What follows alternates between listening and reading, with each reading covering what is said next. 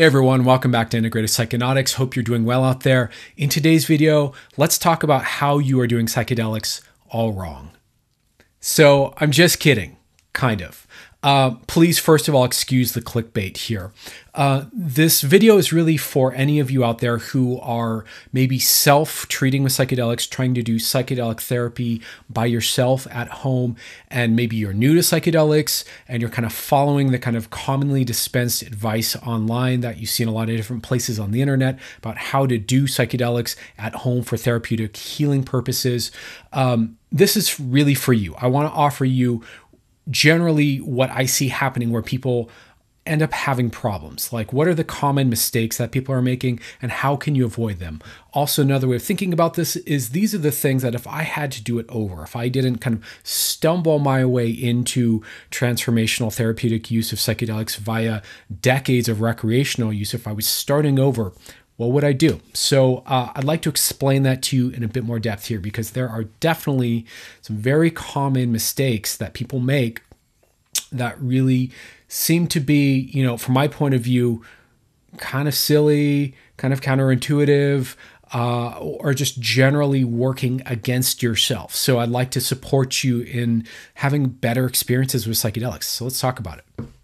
So, the first big mistake I see super commonly online is beginners and newbies taking way too high of doses because they kind of got memed into it. So, uh, full caveat here if you're one of these people who has just a super high tolerance because you are either on a bunch of SSRIs and meds that, you know, raise your tolerance, or you're just one of these people who naturally has a very high tolerance to psychedelics, I'm not talking at you, so please don't throw shade at me.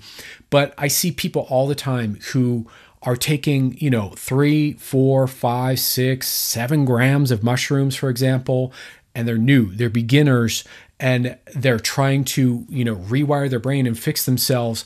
And then they're having these really uncomfortable, overwhelming, brutally intense, challenging experiences. And they're wondering, why it's not working. Why am I so nauseous? Why am I so uncomfortable the whole time? Why do I feel triggered? Why am I just having a giant anxiety attack the whole time? Why is my body just trembling in fear? Why blah, blah, blah, blah, blah, this kind of thing, right? The obvious thing to do is lower your dose to a sane, standard, what was known to be normal all before the, the 2020s dosage of psychedelics. Okay. So, for most people, if you're generally kind of moderately sensitive in how you respond to drugs in general, for someone who's, uh, you know, you know, let's say more or less neurotypical, average, you're probably looking at like you could get a therapeutic experience out of two grams of mushrooms okay? Maybe a gram and a half, you know? And, and I would experiment if I were you uh, in that lower dose range. That's actually not a lower dose. Two, two grams of mushrooms should be a pretty solid dose. Uh, and a gram and a half or a gram, you know, in that range up to maybe two and a half grams at most. I think, you know, and even that might be pushing it. Uh, I would experiment in that range uh, because you're not trying to just like, you know, blitz your mind with a psychedelic and just blow yourself out of the water and have no ability to think or turn your attention where you want to turn it to or process through something that needs processing through. Like if you're just eating a shit ton of psychedelics, you really start to take your prefrontal cortex and it goes more offline. Your rationality, your logic, your linear thinking ability, your ability to really like work through something decreases the higher you get. So maybe start at like a moderate dosage level, which can still be deeply therapeutic, deeply visionary, uh, and and work with what comes up, and don't just kind of make this silly equation that we make in our weird consumer culture that more is better. That if I take more, I'll be healthier, you know, I'll be stronger, I'll be whatever. Increase in dosage does not always equal an increase in effectiveness, right? So, this is a major, major, super common mistake. Uh, and generally speaking, when I encourage people to dial back the dose to something that's tolerable and manageable for them and to focus less on dose and less on the substance and focus more on inquiry and exploration, doing the work and actually like processing That's where that's where the healing is. Just for context, since we're you know talking psychedelics in general here, I for one, you know, know what I'm doing internally with myself at this point from having taken quite a bit of psychedelics, and so for me, I could have like a transcendental ego death experience on two grams of mushrooms right?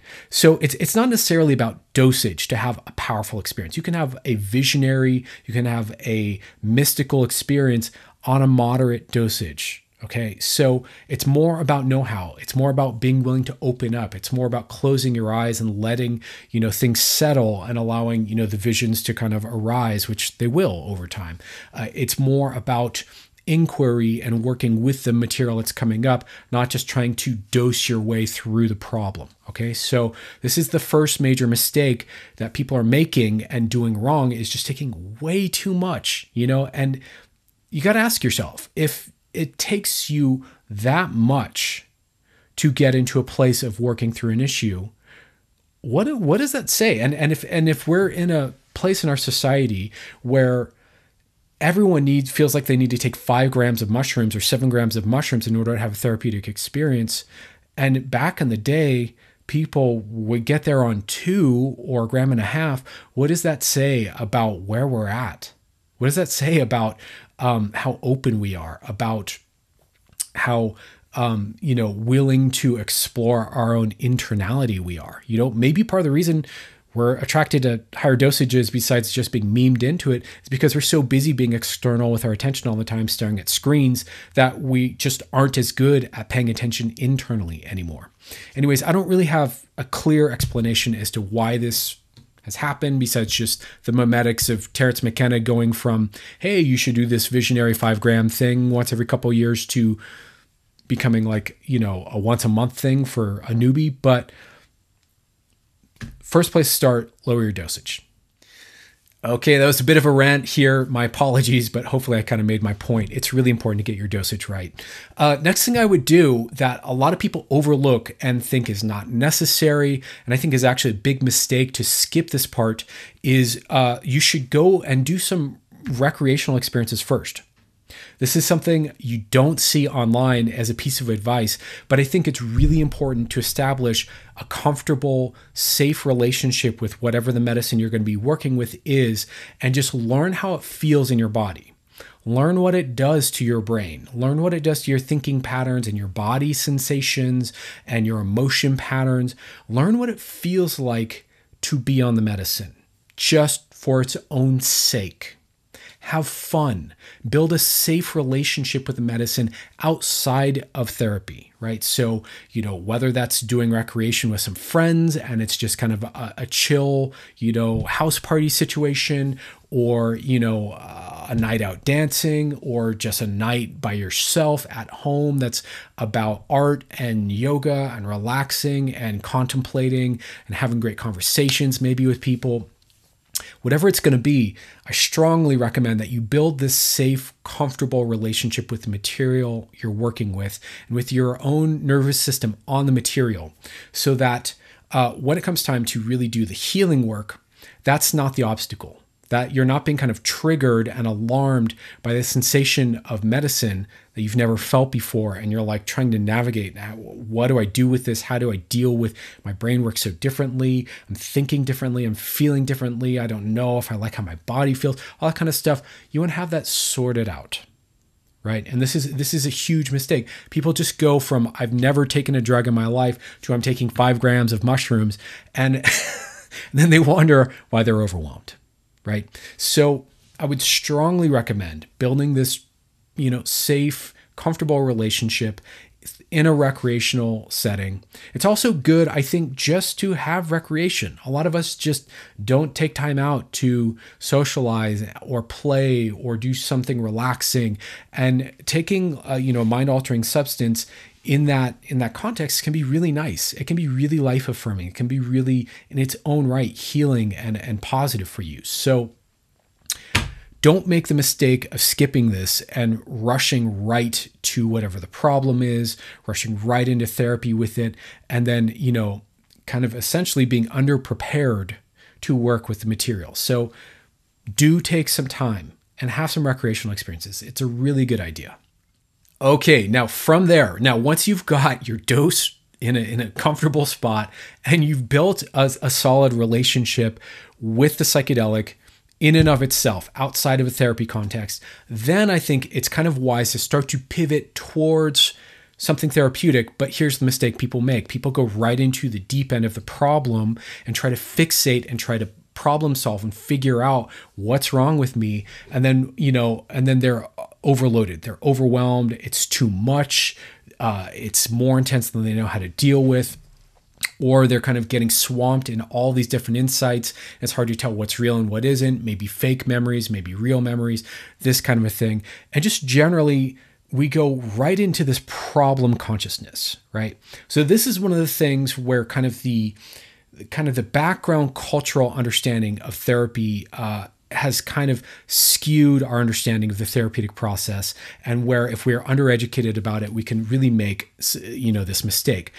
Basically you don't want to be focused just on pathology. You don't want to be thinking of yourself as, oh, I have a problem, I'm broken, let me figure out how I'm broken and fix it. You're not a machine, it's not just about problems and it's not just that understanding the problem or identifying the problem or you know zeroing in on the problem is necessarily going to get you that relief any faster.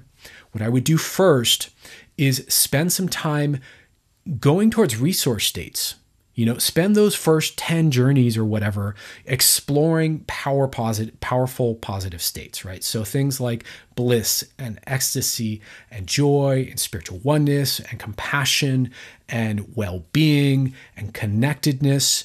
These kinds of feelings are deeply important to the nervous system. And to, if we're going to be honest here, this is often where people are weakest. Part of the reason we have issues in the first place is because we don't feel well resourced enough to address them or deal with whatever the problem is, right?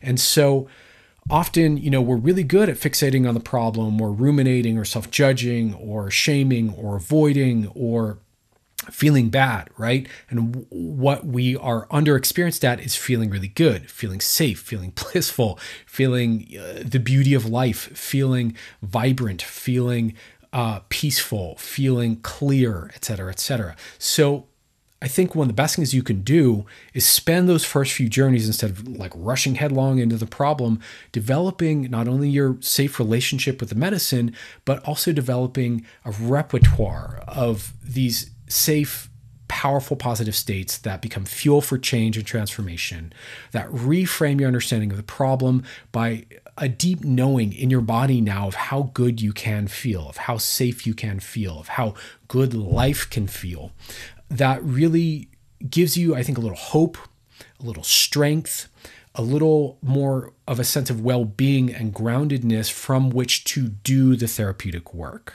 right? Without that, you're basically, I'm like, I'm in a bad way, I need help, I need healing, and then I'm going to launch into the core of the pain.